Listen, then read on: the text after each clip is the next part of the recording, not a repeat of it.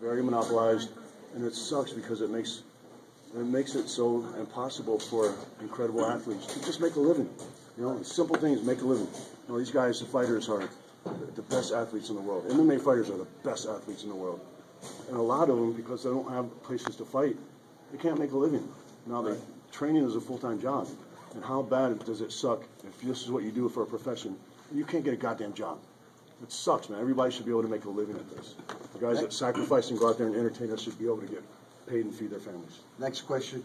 Uh, Dave, you worked with uh, uh, Stephan Bonnar, correct? Yeah, yeah. Now, Stephan had been talking about retirement. Uh, he kind of was gonna ready to hang it up, Right. and he got a surprise bout with the you know the Yeah. best fighter in the world, and He was was actually in, he was in Tampa training with us when he got the call. So did did you guys work?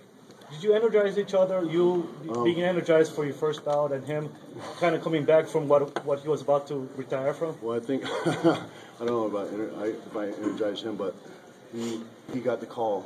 He came to practice the next day and beat the living hell out of me. And I think it was just because he put his game face on, and his game face was on, and he came and he was I mean, he Bring was your training chair up hard. here with you, Fred. Bring You your know, it, chair was, it was a different Stephan Bonnar. It was kind of scary. And, uh, And I, I gotta say one go thing ahead, because go ahead. Stephan Bonnar, I think he's gonna be a little disappointed because he called me, and the two things he said is keep your hands up and your chin chin down.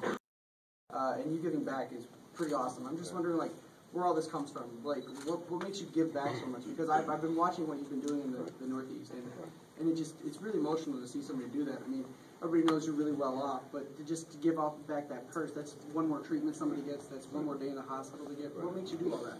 I'm glad you brought that up because um, the guy sitting right next to me is a dear friend of mine. He really made it possibly po- possible for me to do a lot of things that we're doing now. We're doing stuff together. Um, he's uh, his name's Carterway, and he's uh, in remission from leukemia. And, uh, he's the richest man in the world.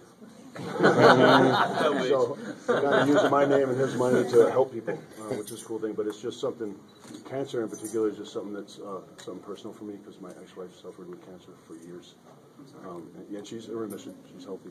Uh, not speaking to me anymore. But still, after you know, after we went our separate ways, I, I kind of kept kept up, you know, the fight that I started, and it's uh, it's very near and dear to both of our hearts, and it's something we're going to continue to do, especially direct stuff directed towards kids. Yeah, it's really, great to team up like this, and it's it's okay to have, but it becomes your responsibility to give back at that point. You know, and uh, that's exactly what we're doing. And, uh, yeah. A lot of people don't do that, so that's great. Uh, Next. can I- Wait, wait, wait. Can I follow up on one Yeah. thing? Uh, I know you owe, uh, you're a co-owner, I believe, of Cesar Gracie Jiu-Jitsu Gym. Grace is that right, Fighter in yeah. Yeah. Uh, do you do you advocate a lot for kids down there a lot? Do you have a children's program? Yeah, we're actually moving our facility so we can actually uh, accommodate children because we were in. When I originally opened the gym, it was going to be my personal gym, and it's in a, a bone shell of a warehouse, and we don't have any amenities for children, which is something that kind of sucks. And we wanted to, to make a change, so we're moving into a better facility because we really believe in, in teaching young kids martial arts because it just sets the tone for the rest of their life. Absolutely. Thank you. Right Hey, how you doing? Jason with BJPenn.com.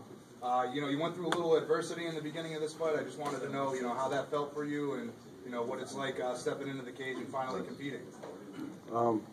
You know, it's weird because at the same time, it, it woke me up, but at the same time, it woke me up and kind of almost put me to sleep. so it really took me a while to get my bearings about me. But after it hit me, I just wasn't. He hit me and he really rocked me. Um, I wasn't nervous anymore, but I was just out of it.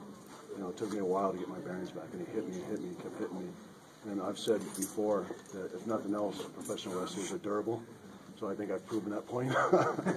He did. He rocked. He rocked me. He hits like a mule. You know, you're 43. Uh, you've been training uh, training in mixed martial arts for quite some time. You know, you've been all over the place with all kinds of camps. I just want to know, you know, what are you looking to accomplish in the sport? Yeah, I just do it because I love it. Yeah. That's it. I don't have any ulterior motive. I'm not going to get rich out of the sport, obviously. Um, maybe it's even more obvious after tonight that I'm not going to be a world champion. but I do it because I love it, and I want to, you know, I want to promote it as much as I can.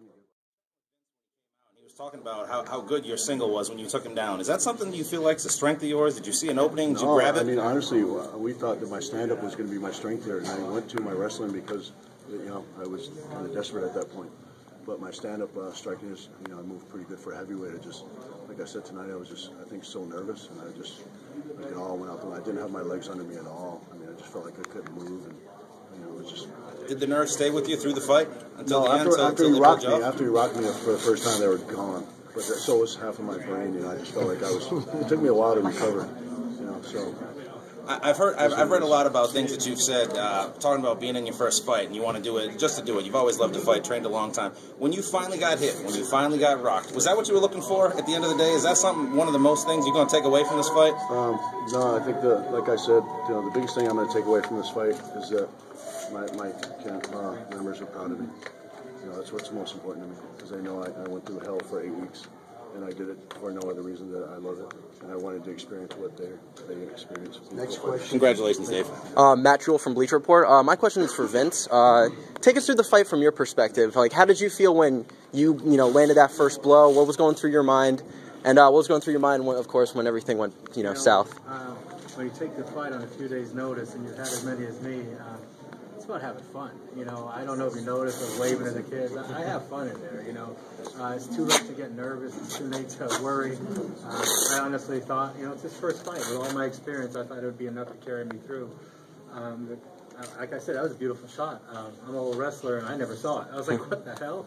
You know. And uh, you know, heavyweights. There's very few that are great on the ground. Uh, whoever gets on top usually wins. So, uh, there's a big, strong guy. He gets on top, and you can't move. So, uh, but I got to tell you, man, it was, I've had the time of my life here. I fought some of the best, and and uh, I, it was it was unbelievable. And these guys said, like I said, I lost uh, both grandparents to cancer, so you know, wearing pink today. Um, it's awesome, guys. Awesome, awesome what you guys are doing, man. You know, like he, he, has everything. He, he could have a, about any woman, all the money. Uh, he, he has a life this guy's dream on. You know, this guy's dream about having his publicity, his money, his fame, and he has the balls to get in there and fight.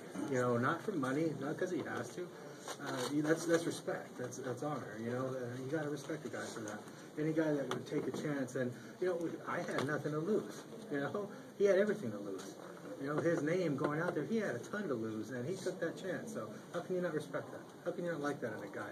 You know, it's frustrating hearing all this crap from the, you know, people that never fought trying to talk shit, and I'm like, you know, hey, the guy's getting in there when he doesn't have to. How many other, you know, well-off famous guys are doing that? Nah, they're like, fuck that, I'll watch it from my couch.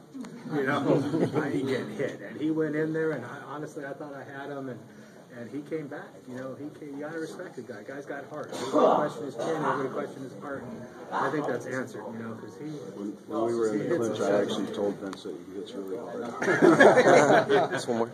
Yeah, just one more. One question for Dave. Um, you know, you're a professional. uh, You know, mixed martial artist now. You're, you're a famous guy. You know, you've been in movies. You're, uh, you know, pro wrestler. What keeps you grounded? You know, through all the fame? Because you've, for a professional, you know, entertainer, you have like no You know, ego. It's really because I was such a late bloomer. So you know, I didn't get into. I made my pro wrestling debut when I was 33, so I was already kind of who I was. I had already developed my character, and you got people. You know, they sometimes sometimes forget that. You know, most of my life I was dirt poor. I never, I didn't have time to my name.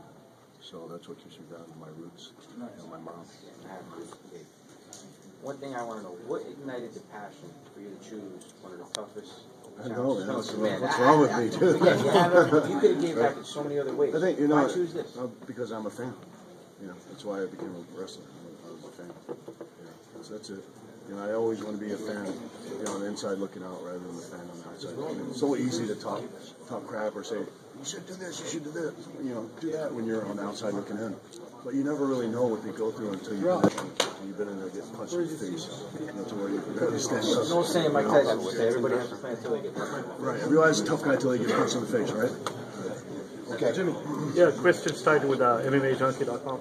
Um, you will have a movie coming out, of course, and I I assume that has a lot of uh, media responsibilities, traveling, appearances, and whatever. Did that in any way conflict with your training? Did you have a hard time Just staying somewhat, focused? you know, but you know, it's, it's honestly it's something that just is what it is. You know, it's, it's something I brought on myself, so I can't complain about it. And is CES MMA already talking to uh, about bringing you back? I hope so. You know, I, you know, uh, I consider Jimmy Burchfield, junior and senior, very close friends. And, uh, He's definitely coming back. That's his wish, positively. You got the butterflies out tonight. All right, next. well, you know, thanks for, for, for coming out. Uh, I'm so proud to be part of this event. Um, um, Dave, Dave Bautista gave me the the uh, opportunity. Uh, Which means I begged for him to be on this card. I'm, a, I'm a big fan. We became close friends when I was in Montreal, so I really, really begged him to be just so, I- I'm um, proud to be what he did after the fight. You know, give his first to charity. I mean, to me, it's just respect. You know, and and he just loves the sport so much. He doesn't do it for the money. You know, he loves the. He can't show nothing but respect to Dave Bautista. You know. Amen. Have you all said hello to, hello to, to Mama Bautista right here? Come here, come right up here. Say hello to Mama. Mama, how- how's it feel to have such an honorable son? I mean, you, you did an awesome job. I'm so proud of him. I'm glad raising him in the project, something good came That's good, There's good people in good places like that. Oh, yeah. He's a There great had, guy. there had to be a good ending to this, but I knew he could do it when he went in. Mom, that guy punched me.